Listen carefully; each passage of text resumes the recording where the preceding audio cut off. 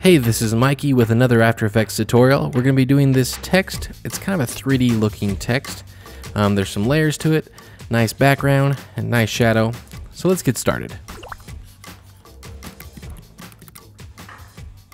So what's fun about this text is, as you can see here, even though the layers are layers are all kind of offset from each other and overlapping and shadows on top of each other, it's it's dynamic. I I don't have to go in and and offset all those individual letters every time I change it. So I can come in here to this text layer and change it.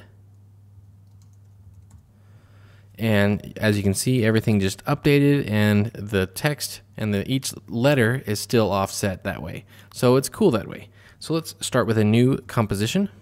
Give yourself a background and let's bring in our text. Okay. Make sure that text is good and centered. Now, before I do the background, I'm going to first start on the text because that's really the whole point of this tutorial. So let's go in and I'm going to go down into the text layers. And we have an animate feature here.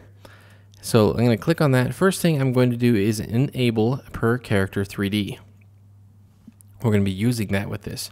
And the next thing I want to add an animator to this and which is a position animator. So just go to click on animate and add position. Now I'm going to take this range selector, highlight it, and delete it because what I'm going to do is add a different selector called the wiggly uh, selector. What the range selector does and what the wiggly selector and any selector is it determines what to select in this text to apply this animator. So right now, if I change the Z position, you can see the wiggly, if I were to animate this, it kind of wiggles through and just randomly picks letters. Now I don't want it to wiggle like that, I actually want it to hold still. So if I come into this uh, wiggly selector and under wiggles per second, set that to zero. And now we've got just a, a set thing. So then let's come in over to the character palette and let's bring everything in closer together so they're all overlapping. Next thing, I'm going to add a light to this. So go to Layer, New, add a light. Just a spotlight is fine. And then I'm going to take this in Z space, move it back so everything is lit. Now if I click on the text layer, if I hit A twice in a row, so AA, it brings up the material options. And then I want to, right here where it says cast shadows, turn that on. And then under the light, we're going to do the same thing, AA to bring up the material options.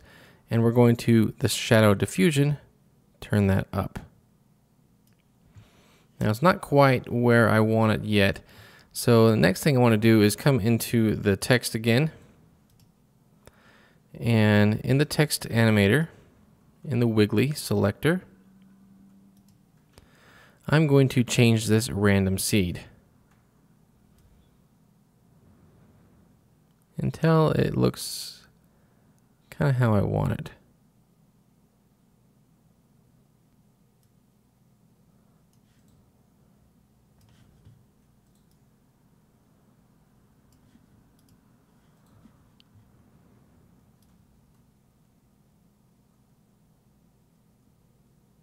Okay. I'm liking that. That looks pretty darn cool. And I might come in and maybe add a little bit more diffusion to this. I want it nice and soft shadows.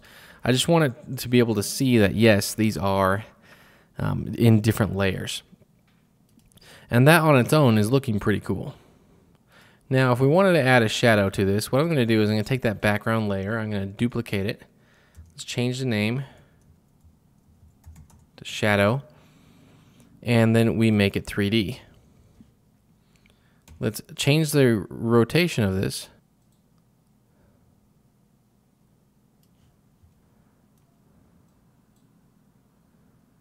So it is underneath the letters and you can see already there's a shadow on that. Let's make it nice and big so it captures the whole shadow.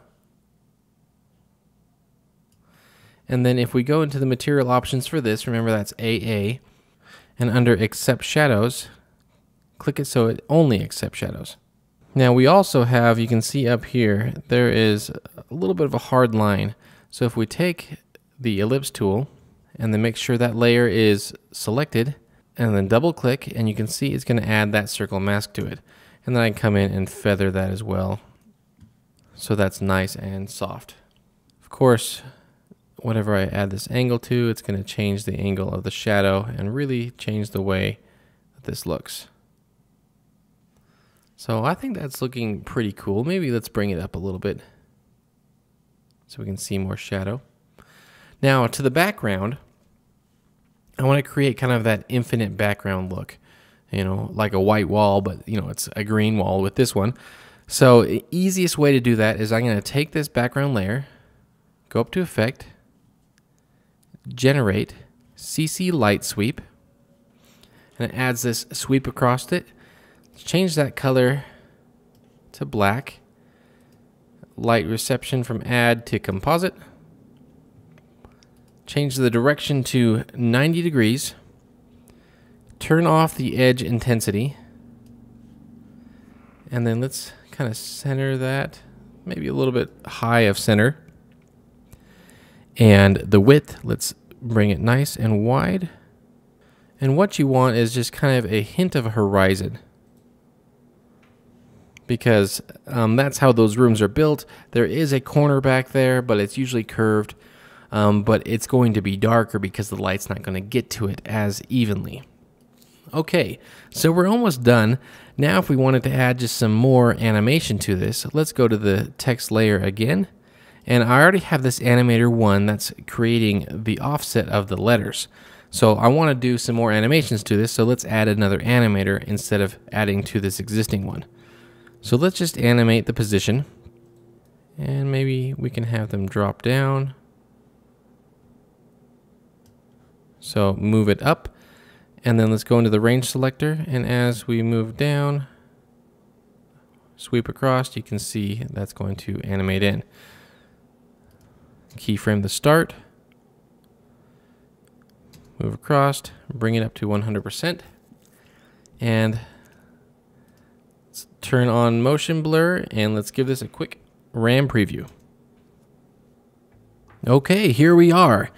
Now, I must warn you, this is not a quick, light render.